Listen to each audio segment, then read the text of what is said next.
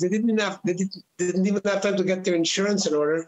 Uh, somebody breaks in. This is restaurant Golden Thali on Notre Dame Street in Montreal, St-Henri.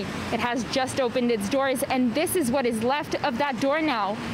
The glass was shattered and the business was vandalized overnight Tuesday. The new owners had yet to get their insurance in order and cannot believe anyone would vandalize a restaurant amid the ongoing pandemic as businesses continue to struggle everywhere.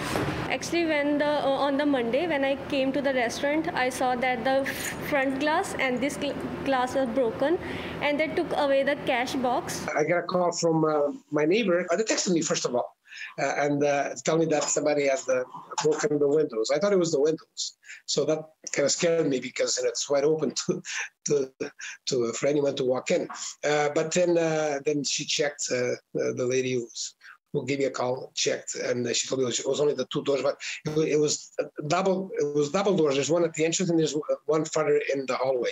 The owners called police immediately and filed a complaint, but they're worried about the lack of surveillance footage, saying as the eatery had just opened, the security cameras were not operational yet. They just uh, take, took the complaint, and they asked that. Uh, uh, we'll check what happened and after that they went away they uh, checked if we have cameras in place, which we didn't.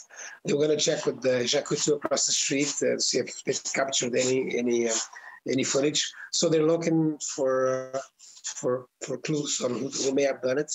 Luckily for the Golden Thali, help is on the way. Alves says the president of the Association of Merchants Les Quartiers du Canal has contacted him with some hopeful news.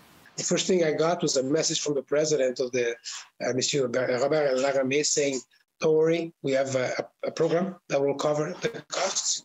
So, uh, and I passed it on right away to my tenants, so we made our day. In Montreal, Samsara Rainville, City News.